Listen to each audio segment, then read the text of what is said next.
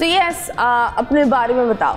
शादी को ऑलमोस्ट तीन साल हो गए हैं। Okay. 2019 में हुई थी। Okay okay. फिर कुछ कॉम्प्लिकेशंस ऐसी हुई। ऐसी नहीं कि कुछ ज़्यादा ही हो गई तो मुझे स्टेप उठाना पड़ा लाइक like, और वो कॉम्प्लिकेशंस क्या थी? uh, वो लव मैरिज थी? मेरी लव मैरिज थी। लव मैरिज में और मेरी एज भी उस टाइम इतनी नहीं थी like I was eighteen years old और हाँ मेरे घर वाले एक्सेप्ट नहीं करते कि मैं इतनी जल्दी शादी करूँ।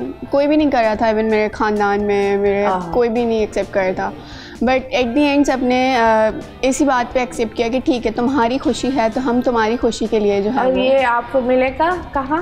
ये मेरे फ्रेंड्स के फ्रेंड थे। एक तो ये जो ऐसी दोस्तें हो जाती है ना किस भी खुदा की हर बंदी जो यहाँ बैठ कर बोलती है वो कहाँ से मिले वो मेरे फ्रेंड्स के फ्रेंड्स बहन जी दुश्मनों की ज़रूरत नहीं है तुम्हारी दोस्ती तुम्हारे लिए काफ़ी है।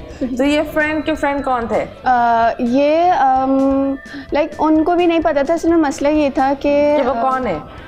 हाँ मतलब जैसे मैं काफ़ी टाइम लाइक शादी से पहले भी मुझे बिल्कुल भी पता नहीं चला कि लाइक like, मुझे लग रहा था कि बंदा सही है ठीक है। How old was he twenty seven 27 और तुम 18 की थी? मैं।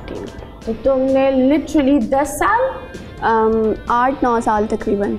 आठ नौ साल तकरीबन। You were 18 19 20 and he was 27 तो 27 28 29 10 साल ही हो गए ना बहन? सही है, दस हाँ, साल। क्या हो गया? हाँ मतलब काफ़ी डिफरेंस था। काफ़ी एज Okay. डिफरेंस था। एक मिनट में। with me Matira आखिरी खिलाड़ी कौन? दैट्स द कैच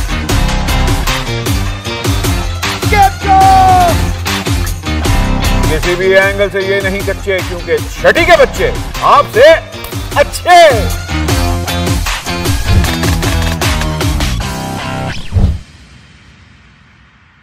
सिर्फ़ बोल एंटरटेनमेंट पर। बोल एंटरटेनमेंट के शोज़ देखने के लिए हमारे चैनल को सब्सक्राइब करें और बेल आइकन पर क्लिक करना ना भूलें।